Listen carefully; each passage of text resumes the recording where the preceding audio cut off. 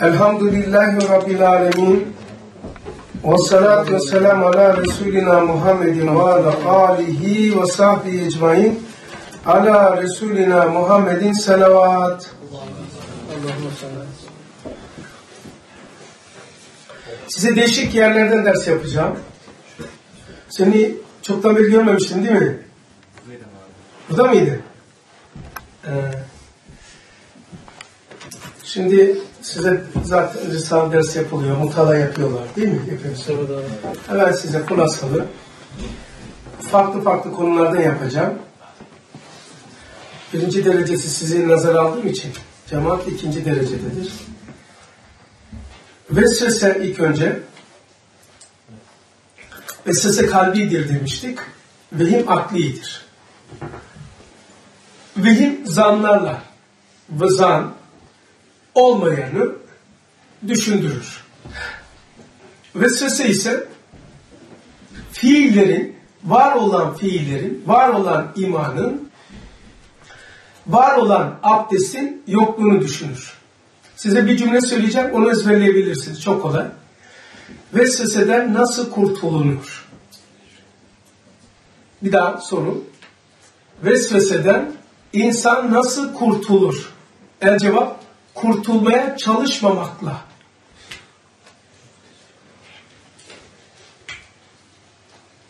Anladık mı? Şimdi usta şöyle diyor onu. Yaban arıları var ya, yaban arıları. Yaban arılarına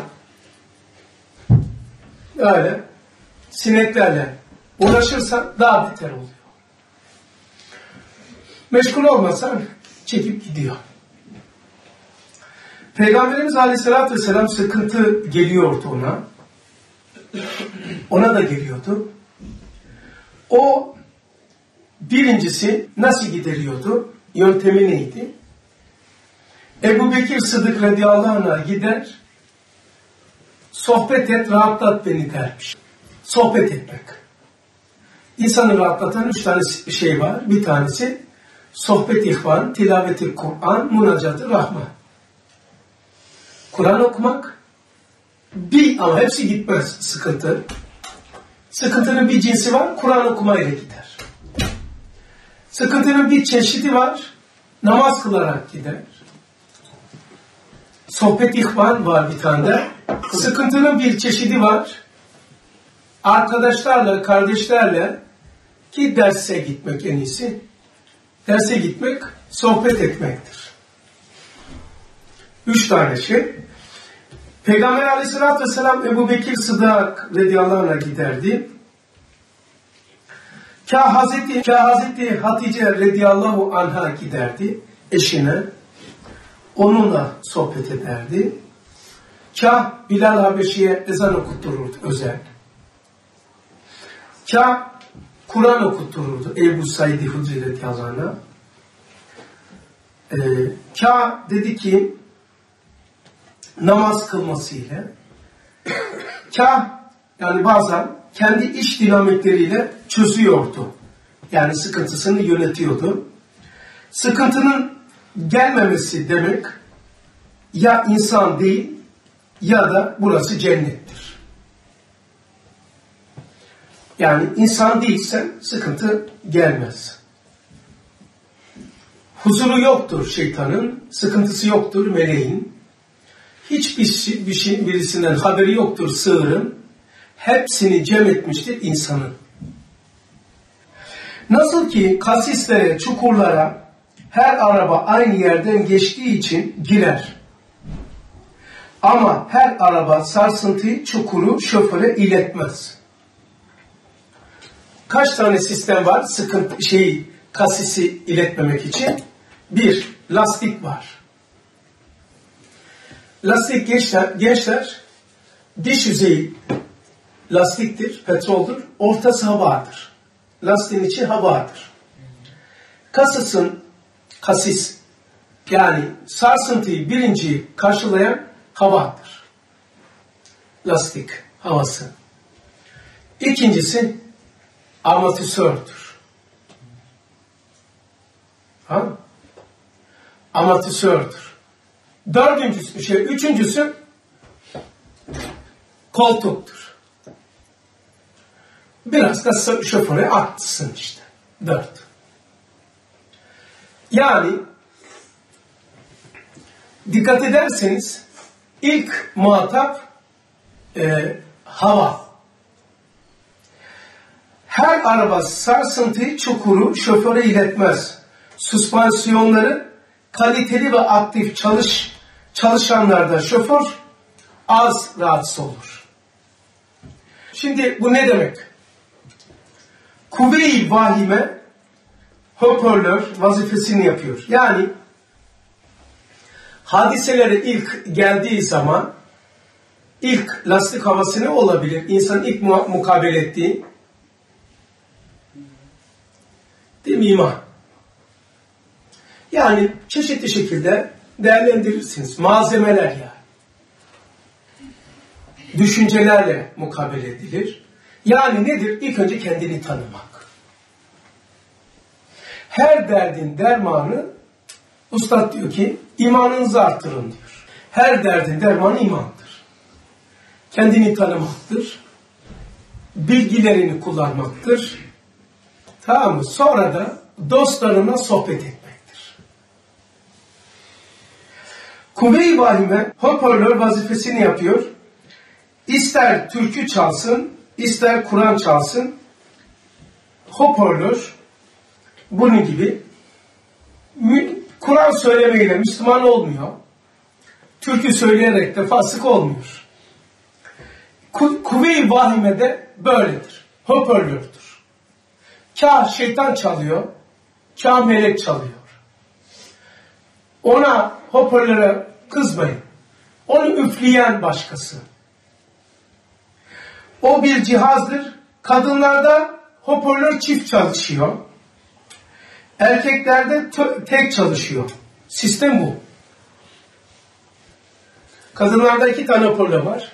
Kuvve-i vahime sağ ve sol. Erkeklerde tek var. Tamam mı? Galip kuvve-i vahime. Yok şeyleri düşünürler çift. Bu eksiklik değil. Daha bir şey olmadan çocuğuna ve evine hemen olmadan düşünüp çaresini almak içindir. Mesela ne demektir anlatayım. Herkesin ağzında bu yanlış söz var. Kadınlar çok konuşur. Çok konuşur da e, bu sistemi yapan Allah. Yani suçlu kim yani tobe? Niçin konuşur? Bak bir tanesini bilirsek rahat ederiz. Şimdi babaya çocuk soru sorar. Baba bu ne? Sor. Çift hoparlör dediniz yani kadınlara. O ne konu yani? Kuvve-i vahime yani kuvve-i vahime şu. Yoku var düşünmeyi çok yaparlar. Olmayan bir şey düşünürler. Yani hatırına gelir. Ne demektir diye şimdi anlatacağım. Şimdi çocuk babaya bir soru sorar. Baba cevap verir. Bir daha sorunca oğlum dedim ya. Bir saat önce dedim lan. Ya, ulan dün anlattım ya sana. Peki. Tamam tamam bir daha anlat. Bir daha çocuk cesaret bulamazlar. Saat sorsa sıstan eşek herif. Kaç defa anlatacağız lan sana? Ulan baban ölecek mi lan? Dün anlattım, öbürsü gün anlattım. Her gün anlatacağım anlattım. Bir defa insan delikanlı bir defa duydum tamam. Böyle sitem ederiz. Anneye ise günde on defa anlatır. Hiçbir zaman ben sana bir saat önce anlattım demez. Üşenmeden sabırla aynı şeyi söyler. Bu iş eğitimdir. Suyun dalgası gibi su yumuşaktır, kayalar serttir. Deniz vura vura vura oyar. Ama bir kere vurdum ya bu su kaya oyar mı? Çekip gidiyor. Bu babadır. Ama sabırla oyar bu annedir. Allah çocuğunu sabırla, üşenmeden, usanmadan eğitsin, anlatsın, anlatsın, anlatsın diye bu sistemi onun için vermiş. Bu çok lazım. Ama bunu başka şeyde kullandığımız sıkıntı oluyor. Demek ki erkeğin az konuşması doğru olduğu gibi kadının çok konuşması da doğrudur. Ama hepsi yerindedir. Kadınlar Kuvve-i vahimi çift çalışır. Niye? Kuvve-i vahimi şu. Olmayan fikirler imal eder. Dur lan o çocuk oradan giderken Allah Allah. Şey yapmasın ya prize çiviyi sokmasın. Lan o çocuk bak o kapının orada oynuyor ama şimdi abisi gelip kapıyı kapacak ha. Böyle senaryolar çocuğu çok tehlikelerden kurtarıyor. Baba ise umrunda değil. Değil parmağı, kolu kopsa lan eşya eşek sokmasaydın lan elini araya. Ne işin var lan senin orada? Çocuğa bak ya. Çocuk değil. Mikro. Böyle deriz. Yani herkesin işi ayrı. Kuvve-i vahimi anladın mı abi? Yani olmayan senaryolar çok imal ediliyor ama kötü de olursa kötü oluyor tabii. Yani kötü de kullanıyorlar diye bu sistem yanlıştır demek ahmaklıktır bu. Yani anne üşenmeden ve usanmadan aynı şeyi günde yüz defa anlatır. Baba haftada bir defa zor anlatır. Çünkü he? O yüzden babalarda tek, annelerde çift. Evet, babalar da tek çalışıyor, anneler de çift çalışıyor. E demek ki Kuvey Vahime hoparlör vazifesini yapıyor. İster Kur'an okusun, istersen türkü çalsın. O bir cihazdır. Kadınlarda çift, erkeklerde tek hoparlör çalışıyor. Sistem bu. Sen bunu ne için böyle işlediğini bilirsen, yani bunu anlattık. Bu sistem niye işliyor? Bilirsen bunun adı şuurdur. Onu kullanmak, tercih yapmak ise akıldır. Yani o konuşmayı doğruda kullanmak akıldır. Yani şöyle yap, böyle yap. Kadınlarda aklı lekesi azdır. Zekalıkları fazladır. Erkeklerde zekalıkları, hissiyatları, duyguları düşüktür. Aklı melekeleri. Onun için erkeğe tabi olmak denmiş. Niçin? Çünkü eksiklik fazlalık değil. Yaptıkları işe göre Allah donanım veriyor. Fazla vermiyor, az vermiyor. Erkekler çocuk emzirememesi eksiklik olmadığı gibi kadınların çocuğu emzirebilmesi üstünlük de olmadığı gibi. Erkeklerin akıl fazla, duygular az, kadınlarda duygular çok, akıl az olması eksiklik fazlalık değildir. Yaptıkları işe göredir. Ha? Yapacağı işe göre o kadar veriyor. Ne iş yapacaksa o kadar veriyor. Bu sistem nasıl çalışıyor? Bilmek şuurdur. Sistemi yönetmek akıldır. Sistemi aktif etmek, onaylamak veya reddetmek ise iradedir. Enişte bir abdest alır mısın? Sen bir abdest al. Yani sistemi aktif etmek, sistemi böyle canlı tutmak iradedir. Bak ne anlattım size? Şuur nedir? Akıl nedir? İrade nedir anlattım. Bu anlattığım sistem niye böyledir? Bilmek şuurdur. O sistemi yönetmek, doğruda kullanmak akıldır.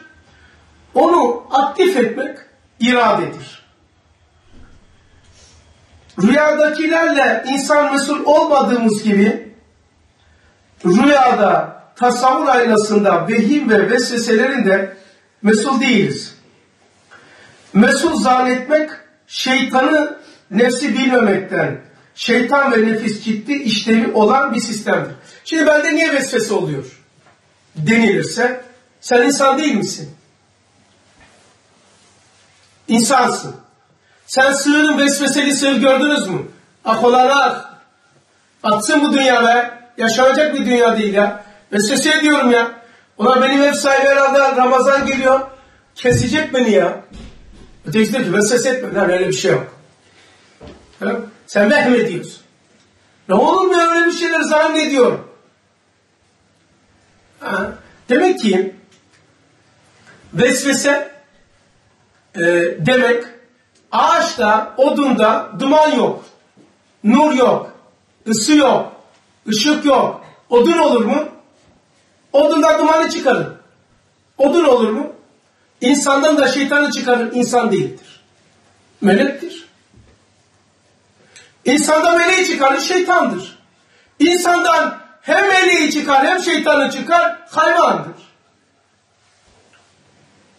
Hiçbir sistem çalışması bir yesin için ağaçtır. Ha? Eğer korku olursa bu tasavvurdadır ve aklı değil, senin değil. Bir emareden gelmiyorsa titremesi, korkması, adem rızası delildir ki bunu değil. Haf ve korku. Ölüm korkusunu anlatıyor. Ölüm korkusu nedir biliyor musunuz? Geçmiş günahlarından korkmak. Gençlerde ölüm korkusu olmaz. Çünkü pek günahları yoktur. Anladınız mı? Ölüm korkusu geçmişine baklanmaktır.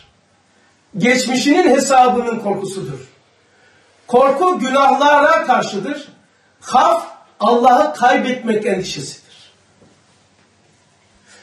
Bir tane farz namazı yoktur bebeğin. Bir tane farz orucu yoktur. Ama bebek kadar nur ve nurani kimse yoktur. İbadet yok. Niye o kadar e, nurani? Çünkü haramı yoktur. O zaman e, mesela gençler var. Gençler var. Sizde yok elhamdülillah. Şükürler olsun. Pulu çağına gelmemiş. Haram daha şey yok. Ama masumdur, günah yok. Fakat suratlarında meymenet yok. Nur yok. Çünkü ruhlarını cep telefonuyla, televizyonla, internetteki videolarla bozmuşlar. Suratlarında meymenet yok ama beyazdırlar, kağıt gibidirler. O günahsız olduğundandır. Suratlarında albinisi olmaması, böyle ruhaniyatı olmaması, ruhlarını bozduğundandır. Büyümeden küçüldüler. Suratlarında asın çocuklarında meymenet yoktur. Nuraniyet yoktur. İşledikleri günahlar günah yazılmıyor ama ruh ifsat oluyor. Vesveselerde mesuliyet yok sebebi bir, sen ondan korkuyorsun. Gelen vesveseden korktun. Titredin, rizan yok. Bu gösteriyor ki senin değil. Dedik ki, vesveseyi kapatıyorum başka konuya geçeceğim. Vesveseden kurtulmanın yolu kurtulmaya çalışmamaktır. Eğer öyle olursa kurtulursun. Dilin afeti. Topladım. Bir adam veya kadın eşine, bir adam, kadın veya eşine boş ol, boş ol, boş ol. En ufak şeyde boş ol. Boşarım seni. Demesinin sebebi nedir diye araştırdım. Ben biraz rüyatçıyım. Psikolojiciyim ya. Bir adam buna niçin ihtiyaç duyar? Veya kızdığı zaman ağzına boş ol niye gelir? Ya defalar kırarım kafanı demiyor da boş ol geliyor. En ufak bir şeylerde son noktalarla niye telaffuz ederler? Niçin diline bu gelir? Boş ol, boş ol diyebiliyor. Hemen her şeyde buysa sebebi şu. Aralarında doluluk olmadığı için zaten boştur. Yani nikahen boş değil ama aralarında muhabbetle dolu yok, sevgi yok. Boş. Boş olunca ikinci, ilk önce aşağı, e, insan hatırına gelen boş teneke. Boş ol hatırına geliyor çünkü boş içi. Dolu olsaydı hemen içini boşaltamazdı. Tenekenin içini hemen boşaltamazsınız. Boş ol hemen denebiliyorsa içinde muhabbet yoktur. En ufak bir şeyde bir insan dövebiliyorsa, boş ol diyebiliyorsa, zulmedebiliyorsa, despotluk yapabiliyorsa o adamın ona karşı bir muhabbeti, merhameti, şefkati, değeri yoktur. O nispette. Bir şeyin içi hemen boşalıyorsa içinde yeterince bir şey yoktur demektir. Boş ol, boş ol diyeceğine bütün ol, bütünsel bak, bütün ol, bir söze, bir davranışa takılıp kalma. Yani niye bunu diyorsun? Bir fiile. Ya insan bir sözle, bir fiile hemen bu denilir mi? Bütünsel bakmayı öğren. Sif insan o değildir. En azından çocuğunun annesidir. Çocuğunun babasıdır. Bu kadar mazim vardır. Bu kadar geçmiş var. Bu kadar değerlerimiz var. En azından Müslümandır. Eşimdir ama Müslümandır. Ortak kaygılarımız var. Ortak değerlerimiz var. Ortak ümitlerimiz var. Bunları kale almamaktır. Niçin? Niçin kale almaz? Çünkü kendisine değer vermez. Kendisine değer veren başkasına değer verir. Sen benim için değerlisin ne demek biliyor musun? Onu demek ben değerliyim. Eğer Allah bile diyor ki beni tanımak mı istiyorsun? Beni sevmek mi istiyorsun Mustafa? Men arefe nefsehu fakat arefe Rabbehu. Rabbehu. Yani kendini sevmeyen Allah sever mi? Kendini tanımayan neyi tanıyor? Allah mı tanıyacak?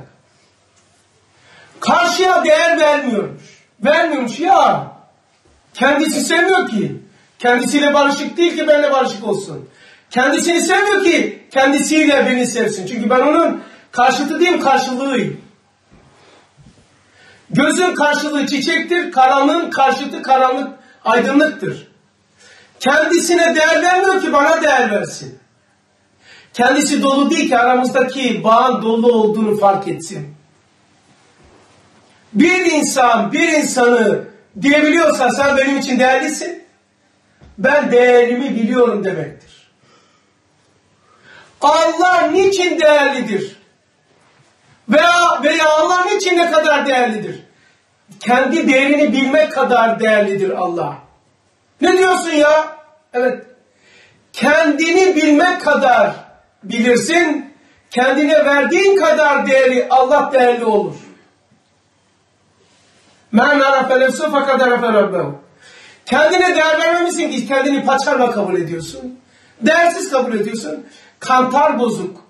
Ölçülecek şey düzgün olur mu? Kendine değer vermemişsin. Allah nereden değerli olacak ki? Kendine değer veren, kendini bilen.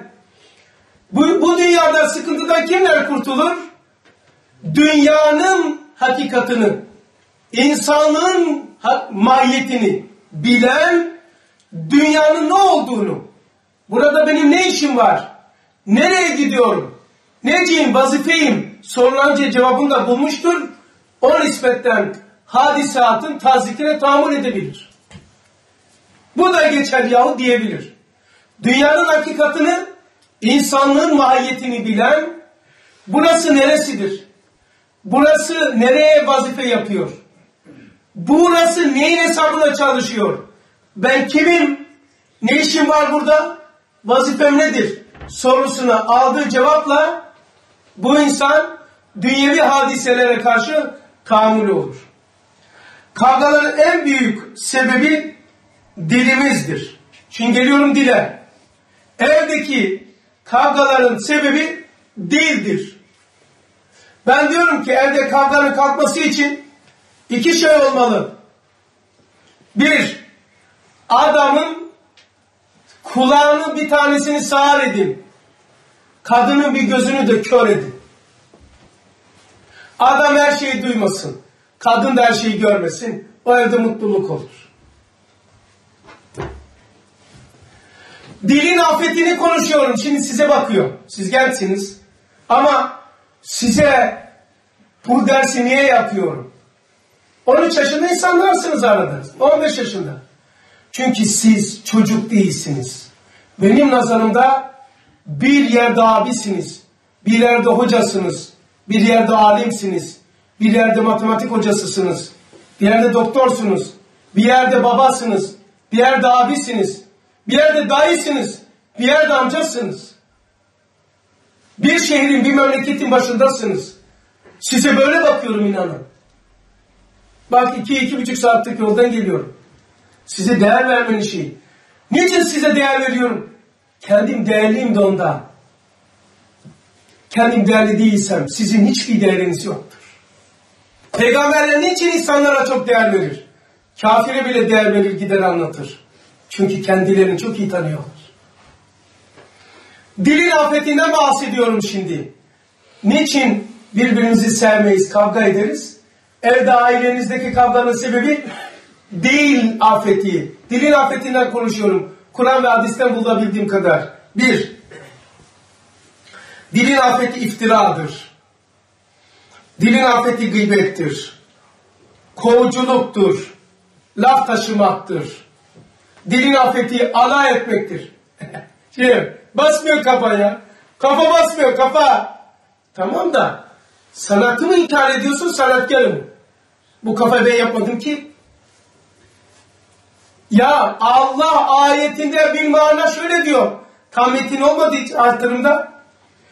Ey insanlar! Birbirinizle alay etmeyiniz. Zira umulur ki, umulur ki alay edilen alay edenden üstün olur. Allah katında. Delilere dalga geçerler değil mi gençler?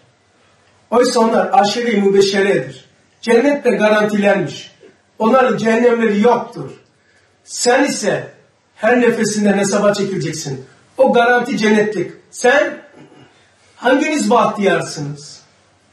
Hangimiz bahtiyarız? O dalga geçtiğimizden şefaat isteyeceğiz.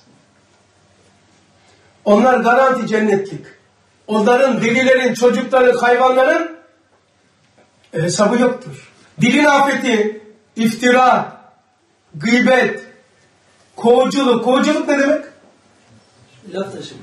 Laf taşımak. alay etmek. Şöyle daha hiçbir şey demeden. Acayip.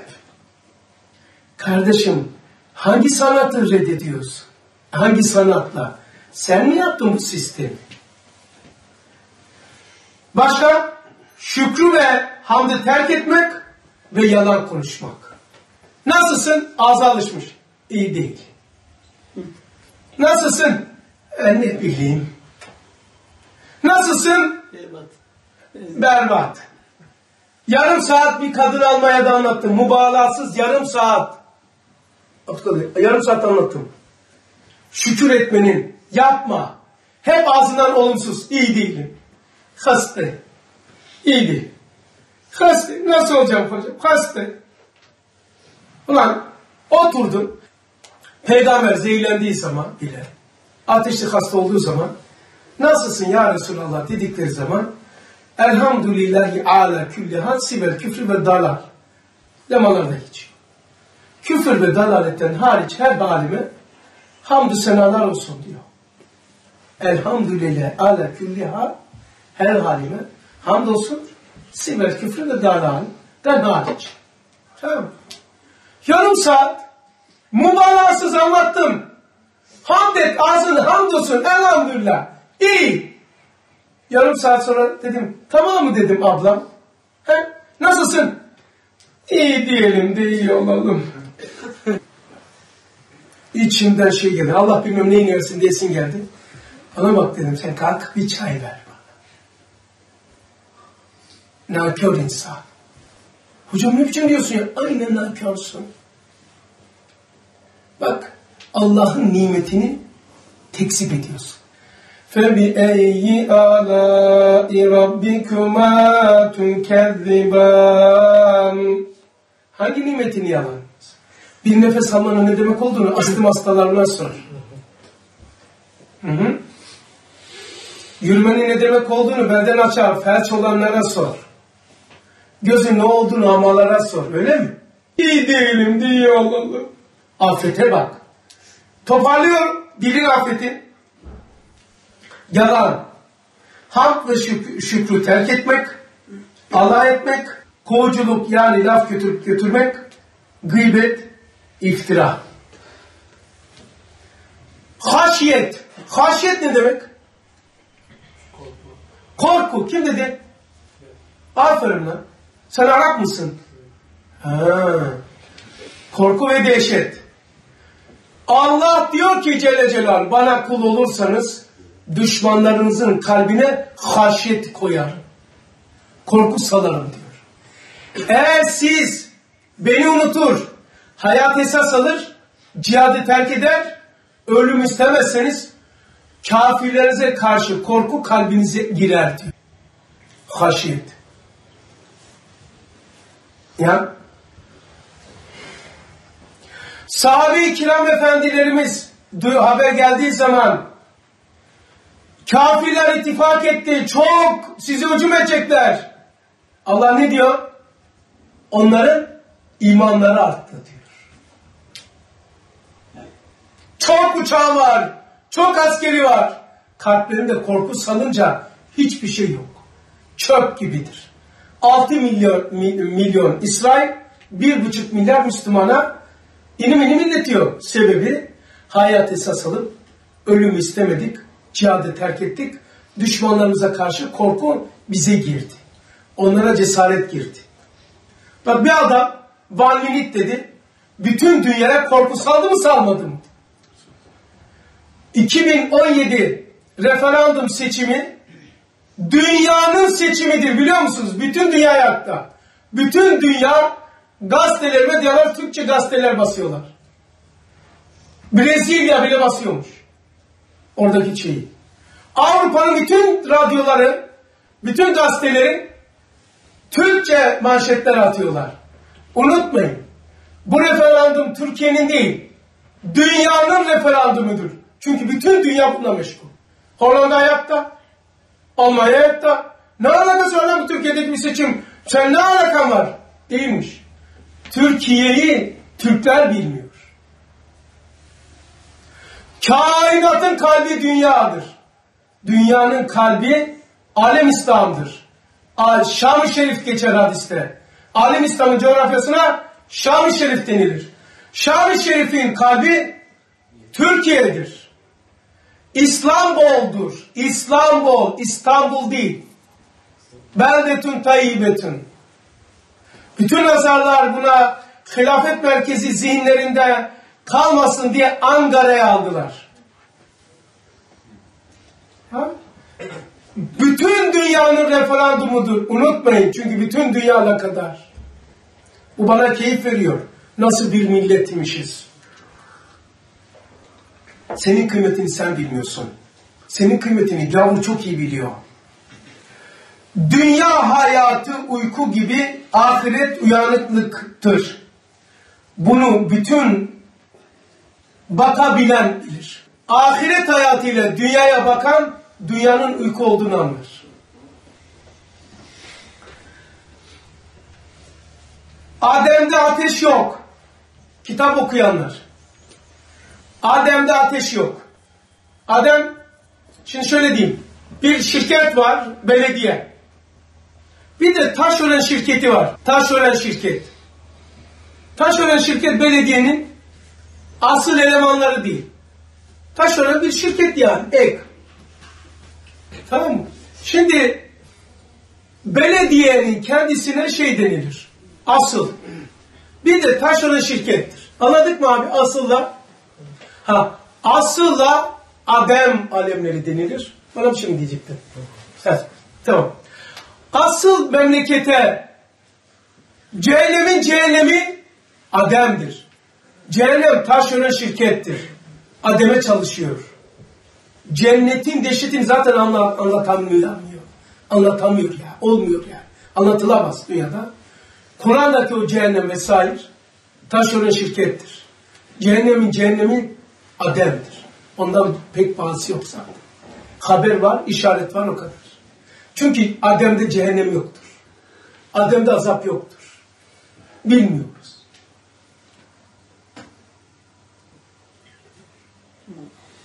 ...142 sözlerde... ...kafirler... ...idam ebedi elde edeceklerdi. Ebedi Adem'e. Cehennem de değil. Münafıklar idam ebedi. Cehennem değil yani. Cehennem bir şey değil. Nasıl bir şey diye Kur'an'dan nasıl tehdit ediyor? Adem'e göre öyle. Şöyle değil. Dünya ile cenneti kıyas edebiliyor musunuz? Allah diyor ki bu dünyaya zindan cenneti methettiklerini hayal edin.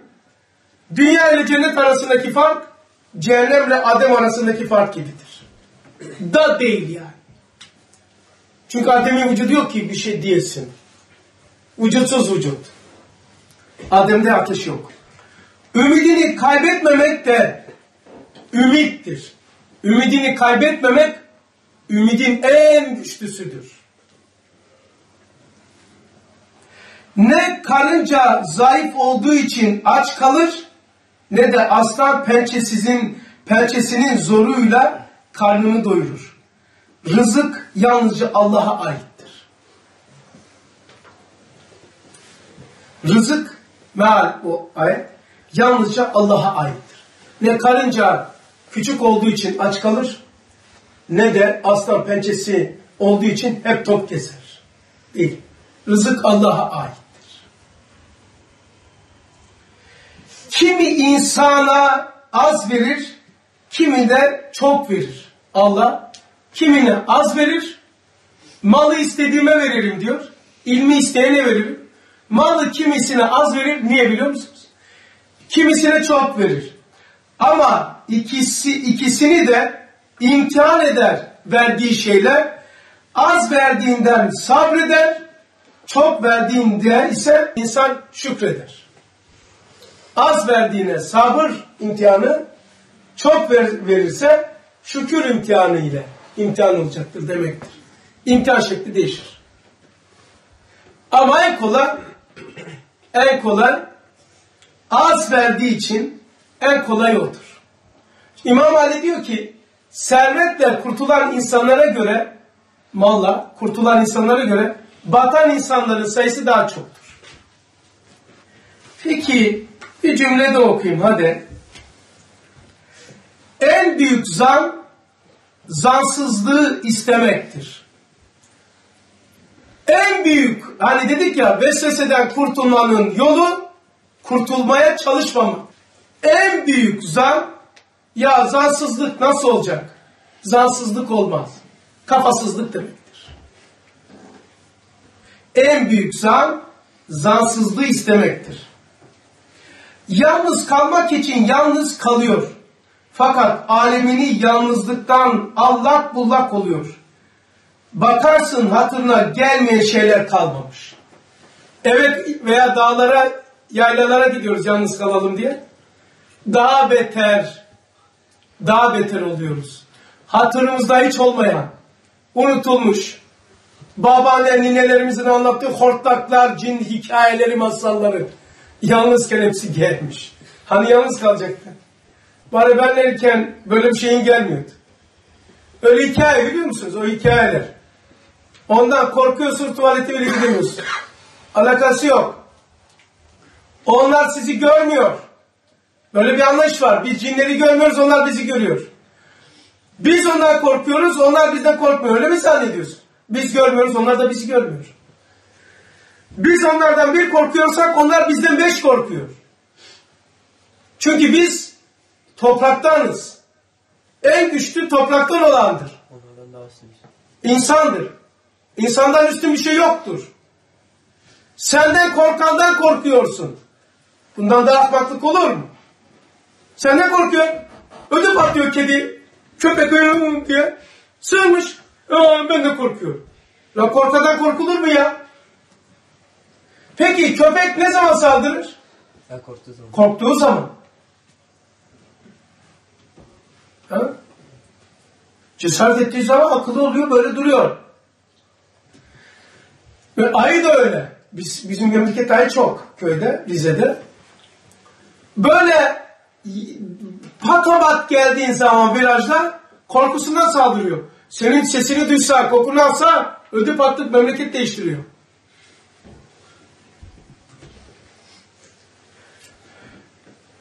Düşüncelerimi boşaltayım, sakin kafaya sahip olayım dersen, oysa bu muhali talep etmek olduğundan kendine fenalık etmek olur. Hayatta boşluk yoktur. Zihnini, dimağını ve düşüncelerini boşalttığında boş mu kalacak zannediyorsun? Kovduklarının bir başkaları dolduracak onu.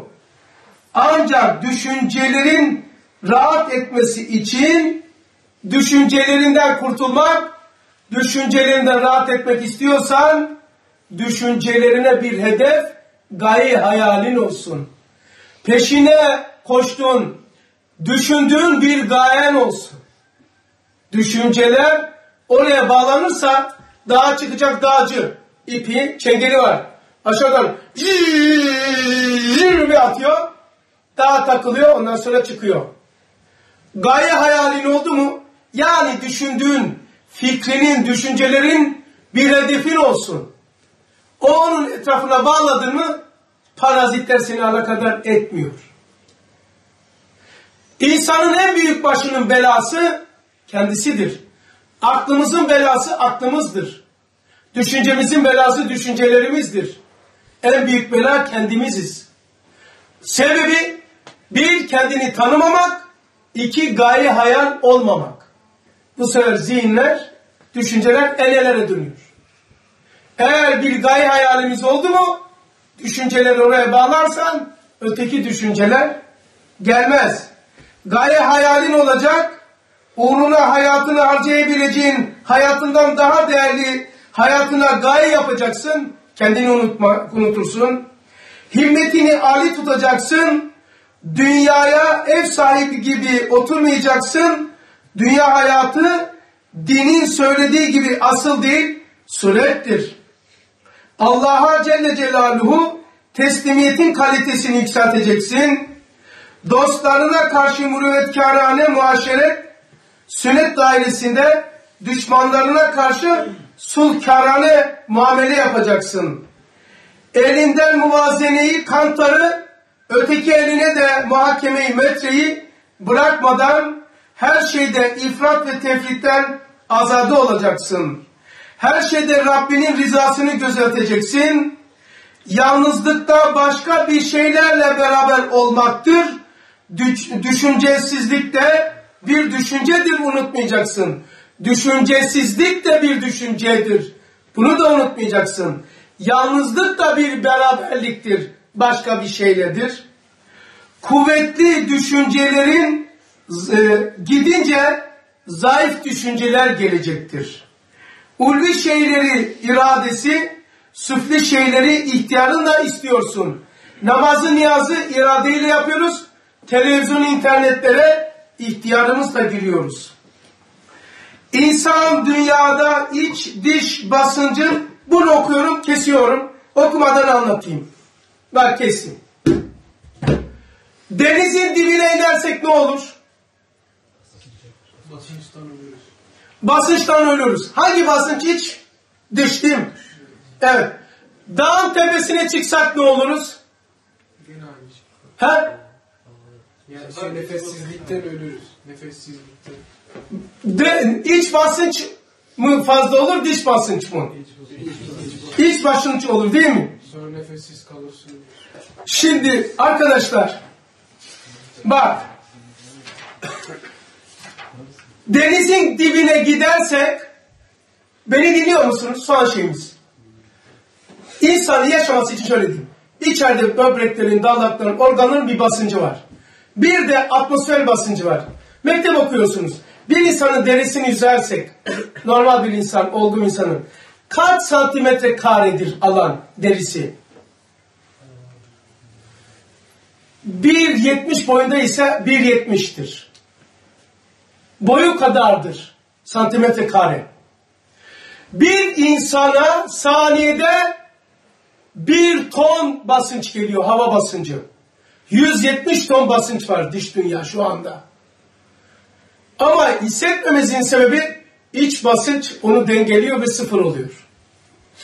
Eğer bu dengeli vücudu denizin dibine götürürseniz iç basınç sabit, dış basınç artacağından vurgun yer patlarsınız.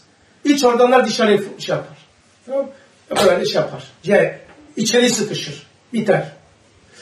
Dağın tepesine giderseniz iç basınç sabit, diş basınç düşük olduğundan dağlara yükseğe çıktınca basınç azalır. Diş basınç çoğaldığı için şey iç basınç dışarıda olmadığından kulaklarından ve gözünüz patlar kan fışkırır. Tamam Bu neyi gösteriyor?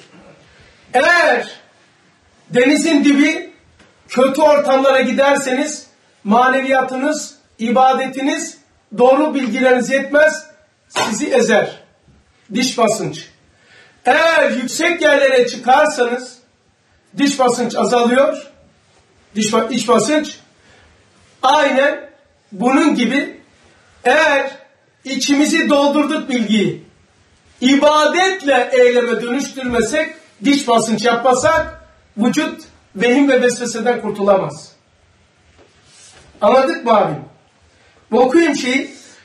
İnsan dünyada iç ve dış basınç dengesiyle yaşar. Eksiğim varsa tamamlayayım diye. Eğer denizin dibine insanın dış basıncı çoğalmış, senin iç basıncına galebe gelir ve seni tost yapar. Eğer dağın başına çıkarsan basınç azalacağından senin iç basınç galip geleceğinden için dışına çıkar. İç ve dış basınçların eşit olduğu yaşadığın şu andaki yerindir. Aynen bunun gibi içsel düşüncelerin ve bulunduğun mekan senin iç ve dış basınçlarını gösterir. Nasıl ki dağın tepesinde dış basınç azalır, iç basınç çoğalır. Yani üst düşüncelerin, kafadaki düşünceler kalkarsa şuur altı tüm geçmişin aktif olur. Üst basınç dağın tepesi bu. Dağ bu. Dağa çıkarsanız basınç azalıyor.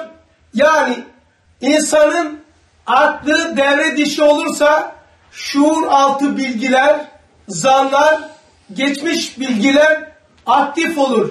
İç alem, iç basınç çoğalacağından yani üst düşünceler iki tane şuur der İbrahim.